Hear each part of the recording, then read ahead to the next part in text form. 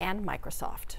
It was a close call for Hawaii on Sunday after dodging Hurricane Hone. The Category 1 storm came so close to the Big Island, dropping heavy rain and knocking out power to thousands of people.